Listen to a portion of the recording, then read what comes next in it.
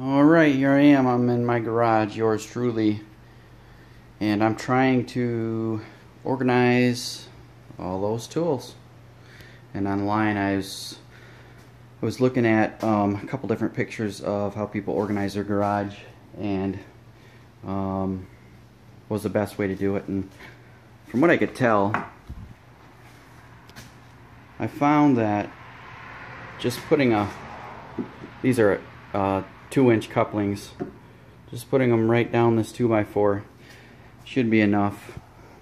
And then I got a 3 inch one for any tools I got that might be bigger. Here's the one I had which was garbage. Right there. It holds a few tools but they're only held by, held by gravity. And the problem with that is if at any point it's too heavy or decides to slip, it's just going to fall right straight down. I don't want my kids getting hurt, so as you can see, I got a messy garage that I'm working on. I got to get this mess cleaned up. So, starting with organizing my yard tools, and here's going to be my yard and garden tool wall right here. I'll show you how it looks when I'm done. Oh, and what I'm going to do, I took a 2x4 and I just drilled a pilot hole and then a two and a half inch screw through this 2x4 at each stud. And I'll do another one on the bottom. Each one of these will actually be for one tool. It'll grab the middle of the tool and this will hold the bottom to hold it in place.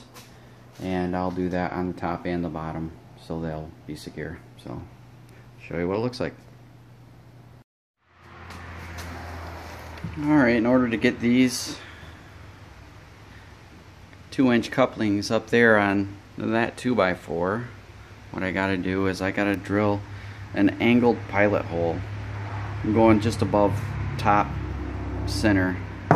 All I'm doing if I can do this while I'm recording. See how well this works out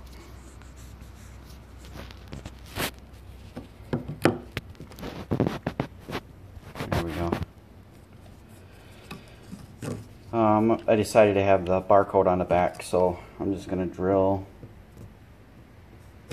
right about there. To go straight through. And then I'm going to, if you can see this or not, but yeah, there we go. Because I'm straight, I got to angle it because my screw is going to be coming down on an angle, so this is what I'm doing.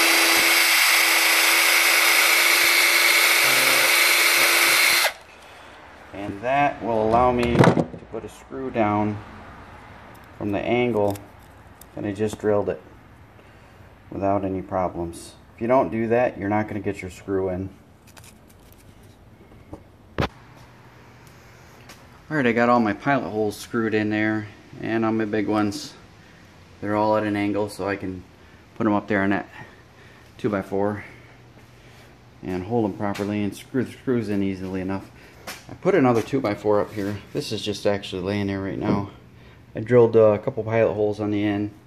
And then I'm going to actually, I'm going to space this out with just another screw here. I'll show you why in just a minute.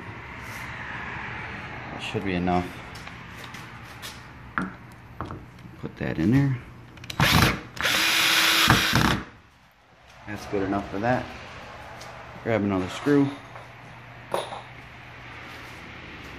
Actually, need two of.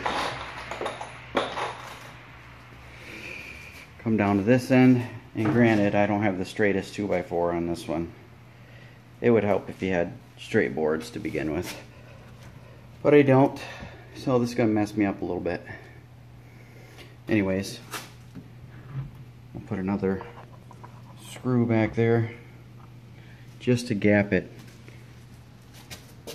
Probably see that. It's, it's gapped out. It overlaps just a little bit. There's a there's a method to my madness. Put this in.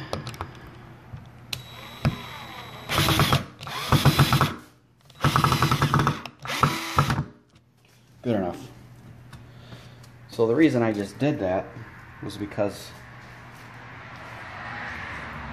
I would like all of these to be straight across rather than jumping up and down when I screw them in.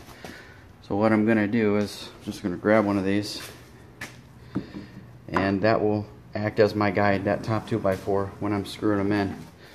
Well, before I even start screwing them, I got to measure that out. Got eight 2 inch couplings, uh, two 3 inch couplings for the top and the bottom.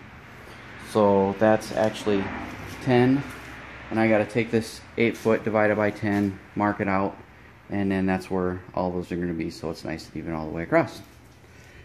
So I'll see if that works out here in just a minute. And there's the finished product.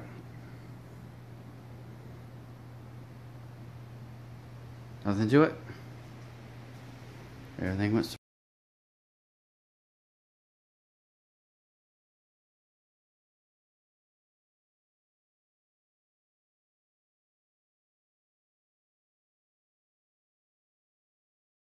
anyways.